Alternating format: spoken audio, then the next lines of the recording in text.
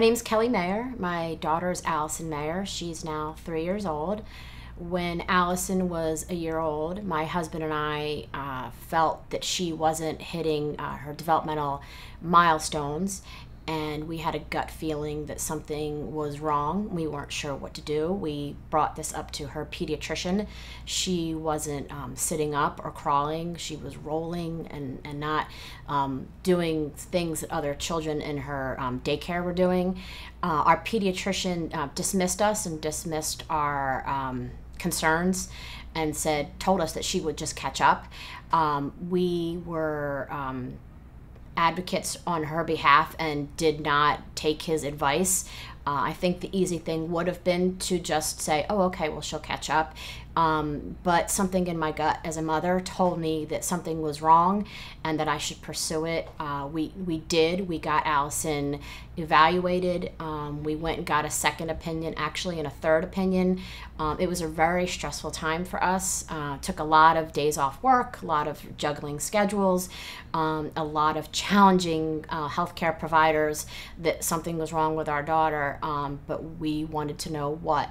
Um, so we got Allison uh, evaluated, and she was told she needed to go to a uh, special pediatrician for uh, neurological issues. Uh, what, weren't 100% sure what was going on. We sought out um, a pediatrician um, who could specialize in these areas, and um, then got a diagnosis for Allison and came to Children's Specialized Hospital. Um, the diagnosis for Allison is hypotonia, which is low muscle tone, um, and it uh, it was a scary time for us. Um, we weren't really sure it could have been more than just low muscle tone. So part of me kind of didn't want to know what was going on, but I couldn't sleep not knowing. Um, once we found out, it was a sigh of relief that what she really needed was um, aggressive therapy and um, orthotics on her feet and legs and body.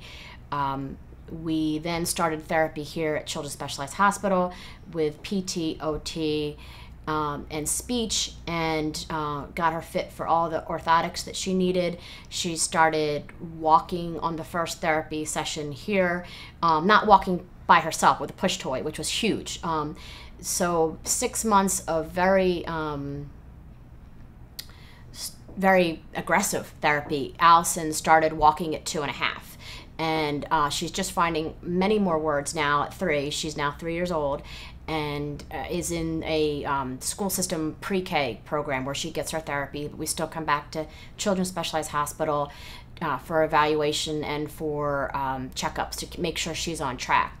So, if I could offer a parent or a mom or a dad or grandparents any words of wisdom, it would be to follow your gut, trust your instincts. You know better than your um, child's pediatrician. Switch pediatricians. We did that, um, and and be an advocate for your child um, when they're young.